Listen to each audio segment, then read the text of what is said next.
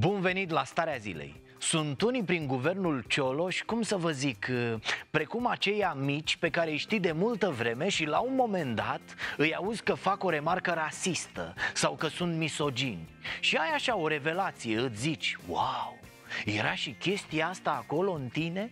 Și ești prietenul meu de atâta timp? Eu n-am văzut asta. Adică oricât de bine crezi că îl știi pe unul Sunt chestii care rămân ascunse. Până într-un moment Cam așa se întâmplă în guvernul Cioloș. Din când în când, cât un ministru iese în public Zice ceva și rămâi mască, mut. Nu poți să articulezi nimic. A fost doamna Dragu care ne reproșea că nu muncim pe 2 lei. A fost doamna Prună care ne certa că prea punem noi pres pe drepturile omului Și acum domnul Păslaru, ministrul muncii Care a zis cam așa.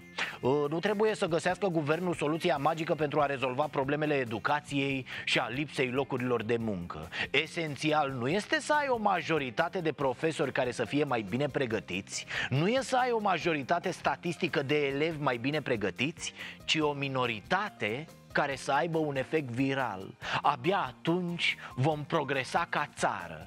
E, na, o minoritate care să aibă un efect viral? Cum vine asta?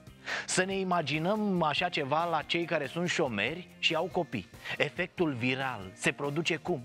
Vezi că sunt unii puțini care au locuri de muncă bine plătite și copii cu burta plină și pac, simți că ai și tu? Se viralizează brusc locurile de muncă și mâncărica din stomac?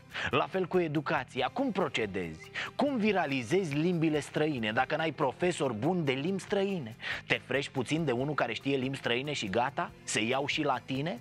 Poți să-l pui să sufle în gură sau cum? E ceva care se viralizează aiurea în guvernul ăsta și nu nu e inteligența. Serios, ce le faceți acolo, domnule Cioloș?